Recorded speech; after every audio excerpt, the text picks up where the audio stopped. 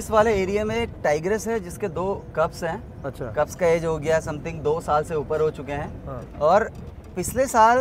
यहाँ पे मई और जून के टाइम में मई मंथ की बात होगी शायद इस वाले फॉरेस्ट में एक ऐसी चीज़ देखने को मिली जो गाइडों ने बोला हमने आज बीस 25 साल हो गए हमने आज तक ऐसा नहीं देखा अच्छा टाइगर की और भालू की फाइट कैप्चर की गई अच्छा और उसी उन्हीं उन्हीं माँ के उन बच्चों में से एक टाइगर था और उन्हीं दो बच्चों ने मिलके अभी आगे ग्रासलैंड पे वही मई जून के टाइम में एक हाथी का बच्चा भी गिरा दिया था तो अब आने वाले टाइम में वो ही है आगे किंग अब कहीं मिल जाए तो दिखाता हूँ आपको अभी देखो